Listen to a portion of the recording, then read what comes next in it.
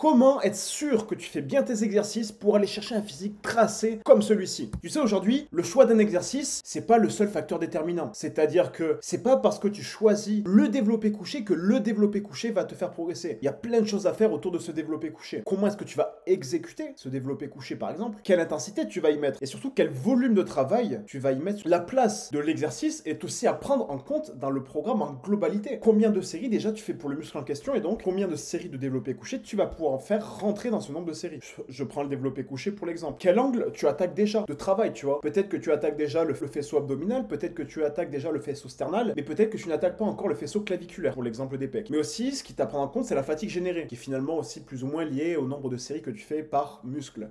Parce que, en fonction de l'exercice que tu vas choisir, il y aura une certaine fatigue musculaire sur les muscles travail, un certain stress, donc fatigue sur les structures passives comme les tendons, les ligaments, les os, les articulations de façon générale, et surtout le système nerveux va se fatiguer parce que en utilisant de l'influx nerveux, tu fatigues finalement ton, système nerveux. Juste avant qu'on continue cette vidéo, il faut que tu saches qu'il n'y a pas de mouvement parfait. Du moins, il y a un mouvement parfait, mais c'est pas le même pour tout le monde. Je vais avoir mon mouvement parfait comme toi, tu vas avoir ton mouvement parfait. C'est comme s'il y avait un, jean en taille M que tu, qui te va parfaitement. C'est la taille parfaite, mais pour toi. Parce que si moi je mets ce jean en taille M, il va trop me serrer. Et à l'inverse, peut-être que si tu le donnes à ta petite cousine, le jean sera beaucoup trop large. Donc il n'y a pas deux tailles parfaites, il y a ta taille parfaite. Et deuxième chose, tu peux voir que le fond en arrière a changé. C'est un peu plus moche qu'avant, mais de toute façon, j'ai jamais mis une grosse qualité sur la forme. J'ai surtout attaqué le fond sur toutes mes dernières vidéos. C'est ce qu'il y a de plus intéressant et je vois que ça vous plaît. Donc focus sur la valeur et on va démarrer cette vidéo qui pareil encore est une masterclass sur comment bien faire les exercices parce que c'est ce qui m'a été demandé sur l'une de mes dernières vidéos. D'ailleurs, dis-moi en commentaire si une vidéo sur l'un des sujets précédents t'intéresse ou même si un sujet qui n'a rien à voir t'intéresse parce que cette vidéo, ça vient d'un sujet qui m'a été proposé. Je vais donc te donner 10 clés, 10 clés qui sont fondamentales à assimiler pour maîtriser les exercices que tu fais et devenir incroyable physiquement par la même occasion. Alors, c'est pas des fleurs que je me lance, je me trouve pas encore incroyable physiquement, mais je pense qu'aujourd'hui, j'ai un physique duquel je peux être fier. Et j'en suis fier d'ailleurs. Faut savoir qu'à partir du moment où j'ai appliqué ces clés, c'est réellement là où j'ai commencé à progresser. D'ailleurs, j'ai pris des photos aujourd'hui. Je pense que je te les sortirai pour la prochaine vidéo parce que c'est masterclass là-bas après que je vais te sortir encore. Tu vas que la clé numéro 9 sur ces 10, c'est celle qui m'a le plus aidé dans ma progression personnelle. Mais celle qui a le plus aidé mes clients, c'est la 10. Et quoi qu'il arrive, on va en parler dans cette vidéo. La clé numéro 1, c'est de ne pas attendre de sensation du muscle que tu souhaites travailler. Beaucoup de personnes, par exemple, qui veulent travailler les pecs, vont se demander et vont se poser la question comment est-ce que je peux faire pour sentir mes pecs parce que je ne sens pas mes pecs? Le problème, c'est que le problème de base n'est pas repéré et mal euh, calibré. En fait, tu penses que ton problème c'est le manque de sensation, donc tu vas chercher à régler le manque de sensation par une recherche de sensation. Mais c'est problématique, sachant que la sensation n'est pas ce qui te fait progresser. La sensation, c'est cool. La sensation, ça te, ben, tu sens ton muscle travailler, t'as l'impression de progresser, ça brûle, tu kiffes, tu vois. Mais malheureusement, la sensation, ça peut être un outil, et on va en parler dans la clé juste après, mais ce qui est réellement efficace, c'est la tension mécanique. La tension mécanique, c'est la tension que tu vas mettre sur un muscle en particulier. Plus tu auras de charge et plus de répétitions, plus ton muscle en question va grossir. Ça veut pas dire que tu dois faire que des gros exercices polyarticulaires, parce que un gros exercice polyarticulaire, ça fait une grosse tension mécanique générale, mais comme c'est un exercice polyarticulaire qui engage plusieurs articulations, donc plusieurs muscles, ben, cette tension mécanique générale est répartie sur plusieurs muscles à la fois. Alors qu'à l'inverse, si je prends l'exemple d'une élévation latérale, peut-être 10 fois moins de tension mécanique générale, mais toute cette tension mécanique, elle est ciblée sur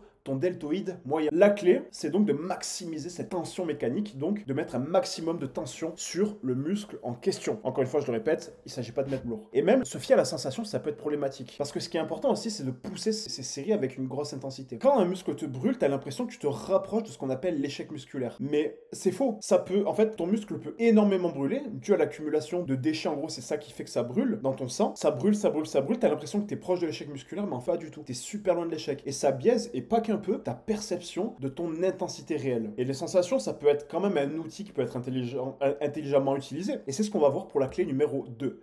La clé numéro 2, c'est réévaluer son exécution si l'on sent un autre muscle se fatiguer que celui que l'on souhaite travailler. Ne pas sentir le muscle que l'on souhaite travailler, on l'a vu dans la clé numéro 1, c'est ok. Par contre, si tu sens un autre muscle que celui que tu souhaites travailler, c'est peut-être mauvais signe. Genre, imaginons que je sens mes triceps alors que je veux travailler mes pecs, mais je ne sens pas mes pecs, mais je sens mes triceps, c'est problématique. Comme je l'ai dit, peux sentir tes pecs, mais si tu ne sens pas tes pecs et que tu sens tes triceps, il y a un problème. Si tu sens aucun des deux, c'est normal, surtout si tu es sur des séries courtes. D'ailleurs, pro tip, cela comme ça, je ne l'ai pas mis dans la vidéo, mais je conseille de faire des séries plus courtes, sur des séries de 8 à 10 reps à peu près, allez, 6-10. Ça veut pas dire que tu dois jamais être en dessous, jamais au-dessus, mais parce que plus tes séries sont courtes, plus en fait, tu as moins de sensation de brûlure sur des séries courtes. Exemple, voilà, ce que je disais, l'exemple du triceps sur le développé couché. Si tu sens tes triceps sur le développé couché et pas tes pecs, alors que tu veux travailler tes pecs avec ton développé couché et que tu as essayé de faire en sorte d'adapter ton exécution au développé couché pour maximiser la tension mécanique sur tes pectoraux, alors c'est qu'il y a peut-être un problème. Et là, je t'invite vraiment à réévaluer ton exécution. Parce que peut-être que, en fait, tu as les coudes trop fermés, tu es trop en flexion de coude, et que du coup, ça fait basculer ton bras de levier, enfin, ça augmente le bras de levier sur ton coude, donc tu as plus de tension sur le coude, donc sur ton triceps, et moins de tension sur ton épaule, donc l'articulation de l'épaule qui est reliée à ton pectoral. Donc c'est ce qu'on va voir. Cette question de levier, c'est important à comprendre. Et c'est ce qu'on va voir dans la clé numéro 3. Comprendre le principe de bras de levier. Comprendre le principe de bras de levier, c'est que le bras de levier, ça fonctionne de la sorte. C'est un point pivot. Ce point pivot, il va servir en fait de, bascule pour exercer une force. Et plus tu auras une grande distance sur l'exécution de ta force, donc là où tu vas exercer ta force, plus il va être facile en fait de déplacer cette charge. Et à l'inverse, plus la charge va être éloignée de ce point de pivot, plus la charge va être dure à déplacer. Donc plus tu vas avoir une grande distance avec ton exertion de force, plus ça sera facile à déplacer. Et plus la charge va être proche du point de pivot, plus la charge sera facile à déplacer. Et ça c'est important à comprendre parce que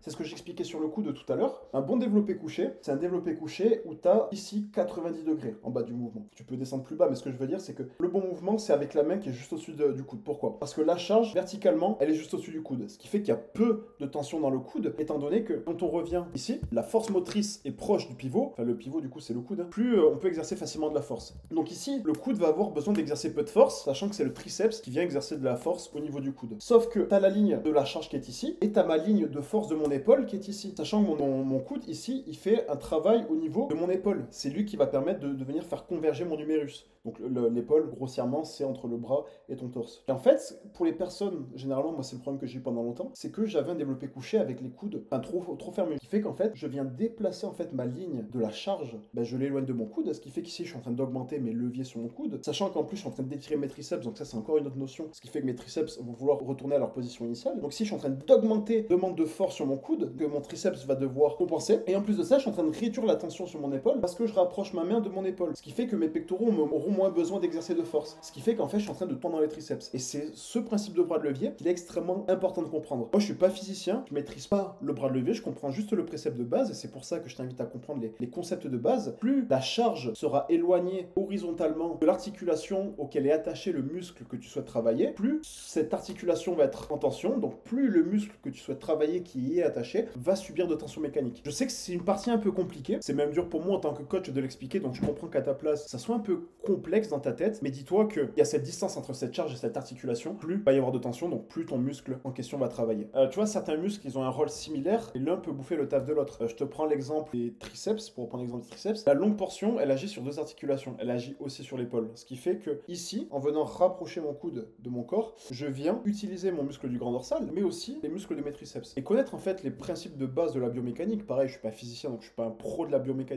Je comprends les principes de base qui me permet en fait de masteriser la musculation, tu vois. En mettant en position de faiblesse le muscle que tu ne souhaites travailler ou mettre en position de force le muscle que tu souhaites travailler, tu décides du muscle que tu souhaites travailler. Après, le problème de ça, c'est que ça demande de connaître un petit peu l'anatomie, mais rassure-toi, c'est ce qu'on va voir sur la clé 4. D'ailleurs, j'aime beaucoup la clé 5, je t'invite à rester juste après parce que la clé 5, vraiment, c'est quand même une dinguerie. Tu vois. Depuis que j'ai vraiment compris ce principe de bras de levier, c'est là où j'ai commencé à améliorer mes développés, j'ai amélioré mes tirages, j'ai même amélioré en fait tous mes mouvements. Littéralement, j'ai explosé physiquement. C'est juste en comprenant ce principe de bras de levier que tu deviens le 1% en fait des mecs qui comprennent ce qu'ils font. Et comprendre ce que tu fais, c'est réellement un cheat code. Donc la clé 4, c'est de comprendre les actions de chaque muscle que tu veux travailler. Ce qu'il faut que tu te dises, c'est qu'un muscle, peu importe lequel, il tire sur l'os sur lequel il est inséré, grâce à un tendon. Donc plus le bras de levier est fort sur l'articulation qui est liée à ce muscle que tu souhaites travailler, première chose.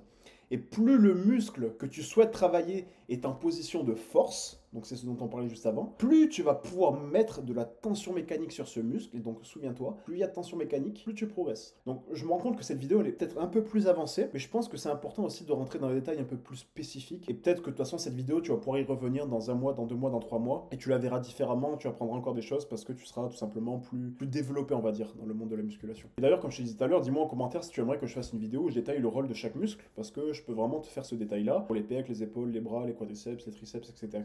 La clé numéro 5, comme je te dis, pour moi, c'est une clé qui est extrêmement importante. C'est se filmer pour se faire avoir un feedback. Et au début, il faut pas se fier à sa proprioception. La proprioception, c'est je sais où je suis dans l'espace. En gros, quand j'ai une bonne proprioception. le problème, c'est qu'on se fie à sa proprioception, donc on s'est dit, ok, je, pense que je suis bien positionné. On pense que son coude il est là, alors qu'en fait il est là. Ça, c'est problématique parce que on a une vision biaisée de sa proprioception quand on est débutant. Autant, je sais pas, euh, si tu fermes les yeux, tu sauras à peu près où est le bout de ton doigt. Et encore, tu vois, je vais me taper à côté. Autant ton coude, déjà, tu auras un peu plus de mal à le toucher en euh, comment dire, en fermant les yeux. Et imagine maintenant s'il y a une charge, s'il y a de la tension et tout. Bref, ça devient un calvaire. Même moi, tu vois, je me fie pas à ma proprioception. Je préfère largement me filmer pour me faire un propre feedback. Le mieux, c'est de faire soit une vidéo de profil, soit de face. Le mieux, c'est de faire une vidéo de profil sur la première série, pourquoi pas, et une vidéo de face sur la deuxième série. Et ça t'apporte énormément de feedback vraiment directement, tu vois. Moi, je peux me faire mes propres feedbacks parce que je suis, je suis coach. Toi, tu peux aussi le faire par toi-même, tu vois. Tu analyses ta position et tu la corriges perfectionner ton travail euh, que tu fais grâce à tes exercices de musculation pour aller chercher un physique tracé. Et cette vidéo, tu peux soit l'analyser toi-même avec tes connaissances actuelles. Cette vidéo, tu peux soit l'analyser toi-même, cette vidéo que tu as tournée de ton exercice, tu peux soit l'analyser toi-même avec tes connaissances actuelles, soit la partager à un coach. Euh, un coach, bien sûr, qui te suit personnellement. Parce que s'il te dit oui, oui, c'est bon, non. Il faut réellement des, vraies corrections. Une correction qui est adaptée à ta morphologie. C'est important parce qu'il y a des coachs qui te suivent pas personnellement et qui vont te donner une exécution dogmatique en mode euh, en général, c'est bien. Non, ce qu'il faut, c'est pas en général on exécute l'exercice comme ça, c'est pour toi, comment est-ce qu'on exécute parfaitement l'exercice. Donc demande à un coach, connais personnellement. Moi, c'est très simple. Aujourd'hui, je propose des consultations gratuites.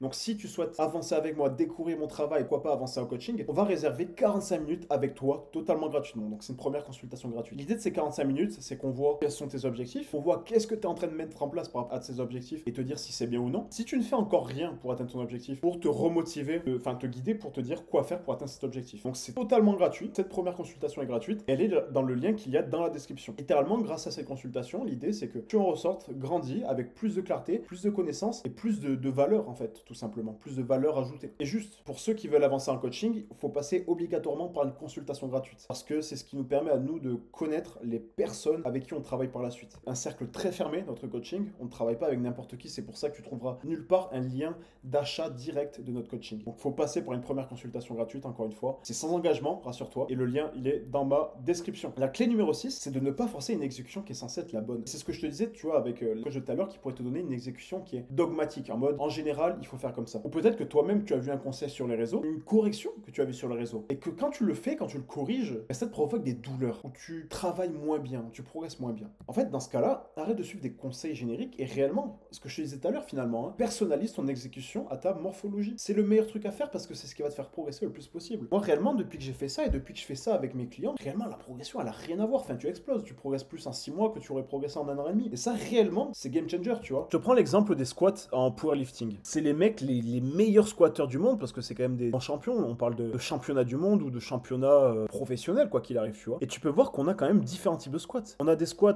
comme cet athlète-là qui ont des prises très. On a cet athlète-là, euh, très large, je, disais, cet athlète-là qui a une prise très serrée au niveau de son squat. Là, on va pas forcément le voir, mais on va avoir des athlètes qui ont le dos très vertical, d'autres athlètes qui auront le dos très penché en avant. Et c'est là que tu vois par cet exemple que même les professionnels, ils ont pas une exécution similaire entre eux. Et c'est pour ça que réellement, tu dois adapter ton exécution à ta morphologie. Parce que c'est ce qui va te permettre d'optimiser ton travail. Alors oui, avec une exécution normale, tu vas pouvoir progresser. Mais l'idée, c'est pas de progresser lentement. Enfin, si c'est ton cas, ok. Mais l'idée, c'est de faire en 6 mois ce que tu aurais pu faire en un an et demi, tu vois, tout simplement. Et si tes connaissances ne sont pas suffisantes, encore une fois, vois ça avec un coach, que ce soit moi, du coup, avec une, consultation gratuite directement en description, ou avec euh, n'importe quel autre coach qui pourrait te suivre personnellement. La clé numéro 7, c'est d'adapter son exécution à sa morphologie et à ses capacités. on va parler de capacité. Peut-être que tu n'as pas encore le niveau pour explorer de grandes amplitudes. Parce que réellement, sur un exercice, ce qui est un cheat code, c'est de maximiser son amplitude et d'aller chercher des grandes longueurs musculaires. Mais au-delà de ta morphologie, ton exécution, elle doit être adaptée à ton niveau, donc à ta force, et tu dois explorer les amplitudes max des articulations liées aux muscles que tu souhaites travailler. Je te prends l'exemple d'un jambe tendue. Va chercher des grands étirements de tes ischio-jambiers. C'est ce qui va se permettre non seulement d'avoir des ischios en bonne santé, parce que tu vas les travailler sur de grandes longueurs, donc d'un point de vue santé, c'est incroyable, tu vas gagner en mobilité, et en plus de ça, d'un point de vue hypertrophie, c'est encore meilleur. Et cela va te permettre d'aller chercher de grandes longueurs musculaires, du coup, c'est ce je te parlais tout à l'heure, et c'est la clé numéro 8. Et souviens-toi, la clé numéro 9, c'est ce qui m'a fait exploser, et la clé 10, c'est ce qui a fait exploser mes clients. Donc la clé 8, c'est de maximiser son étirement au possible. L'idée, c'est de travailler sur des grandes longueurs. Un muscle de grande longueur, c'est un muscle qui est étiré. Si par exemple je fais ça, ici je viens rajouter de la longueur sur mon biceps parce que l'insertion vient s'éloigner. Et l'idée, c'est d'avoir le maximum d'éloignement sur tes muscles. Je te prends l'exemple encore une fois tes ischio-jambiers, mais plus tu vas descendre, plus tu vas étirer tes ischio-jambiers. Donc l'idée, c'est pas de mettre super lourd et d'aller explorer ces amplitudes